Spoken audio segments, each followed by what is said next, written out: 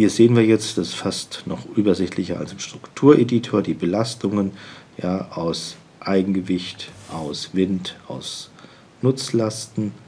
Die werden alle ähm, grafisch dokumentiert, sodass man das Ganze auch gut nachvollziehen kann.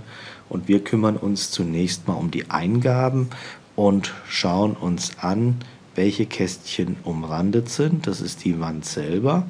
Aber wo wir jetzt zum Beispiel keinen Rahmen sind, ist bei der Wand oberhalb. Die kennen wir ja gar nicht. Wir haben nur eine Wand übernommen, was oben drüber steht, wissen wir nicht. Da muss ich halt dann nachschauen. Ich weiß es jetzt noch, das ist die gleiche Wand und die gebe ich nochmal vor. Die regelt mir ja die Einspannbedingungen hier am Knoten letzten Endes, was ich hier vorgebe.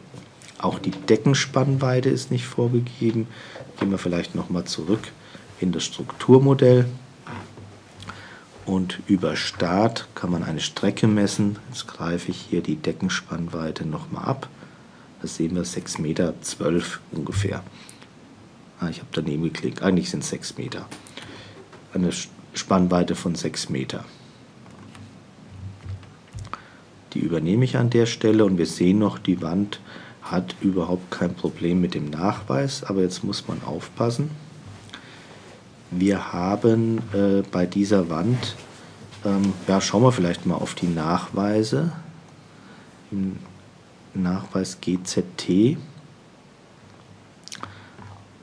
und dort auf die Ausmitten. Wir haben überhaupt keine Ausmitten aus Deckendrehwinkel drin. Das sehen wir hier. Und woher kommt das? Ähm, wir haben aus dem Struktureditor Lasten übernommen und dort speziell aus dem V-Lastmodell. Und im V-Lastmodell sind alle Wände einfach gelenkig unter der Decke angeordnet. Somit kommen da zwar alle Vertikalkräfte an, aber es fehlen die Momente aus dem Deckendrehwinkel. Und für diesen Fall haben wir eine Option bei der Last, bei dem Lastabtrag eingebaut. Wir sehen hier Lastabtrag aus dem Strukturmodell und direkt daneben gibt es die Option Deckenlasten zur Ermittlung der Wandmomente. Und die geben wir jetzt ein, also das Eigengewicht der Decken soll mitgenommen werden und auch die Last auf die Decken. GK, eine Ausbaulast auf unserer Decke von 1,5 Kilonewton je Quadratmeter und QKN noch eine Nutzlast auf die Decke, auch rechts oben sagen wir von 2,8 Kilonewton je Quadratmeter.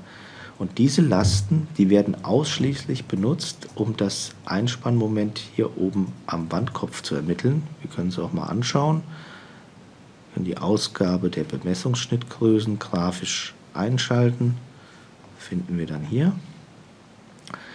Aber diese Lasten werden vertikal nicht weitergeleitet. Also das ist eine reine lokale Last hier in der Position um einfach nur die Bemessung sicherzustellen.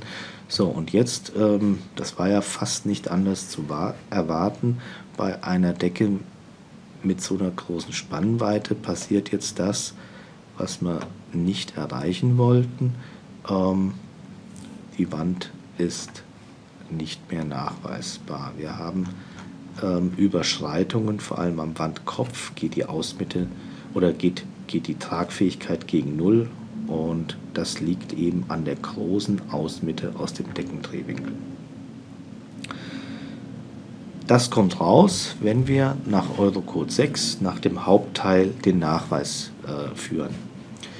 Es gibt aber im Eurocode 6 auch noch einen Anhang und in diesem Anhang gibt es ein alternatives Verfahren, wie wir äh, nach genauen Verfahren mit dem Deckendrehwinkel umgehen können, weil wir sehen hier eine Ausmitte von 13,9 cm. Das ist ja schon über die Wandmitte hinaus. Das ist nur eine 24er Wand, da wäre ja bei 12 cm zu Ende. Äh, das ist ja ein Fall, der ist relativ akademisch. Man kann sich ja vorstellen, die, die Decke, die liegt auf der Wand aus und dreht sich über die Kante, aber sie liegt am Ende immer noch auf der Wand auf. Das heißt, die Ausmitte, die kann ja nicht aus dem Deckendrehwinkel zumindest, die kann ja nicht außerhalb äh, der Wand liegen. Und wenn man solche Fälle hat, dann kann man auch so rechnen, dass man sagt, naja, wir nehmen die Wandkante und nehmen dort einen Spannungsblock, der genauso groß ist wie die Auflast, die von oben kommt. Und aus dieser Größe dieses Spannungsblocks rechnen wir uns die Ausmitte zurück. Das ist ein anderes Verfahren. Damit erreichen wir natürlich, dass wir noch eine Resttragfähigkeit der Wand äh, erzielen. Es, wir müssen nur damit rechnen, dass bei dieser exzentrischen Belastung es zu einer gewissen Rissbildung kommt. Und man kann solche Risse durch bestimmte Maßnahmen, die auch im Eurocode beschrieben sind, vermeiden. Und dann sagen wir halt, diese Maßnahmen, die im Eurocode beschrieben sind, die wenden wir an. Damit dürfen wir dieses vereinfachte oder dieses erleichterte oder bessere Berechnungsverfahren äh, verwenden. Ja, und damit wäre jetzt an der Stelle die Wand auch nachweisbar.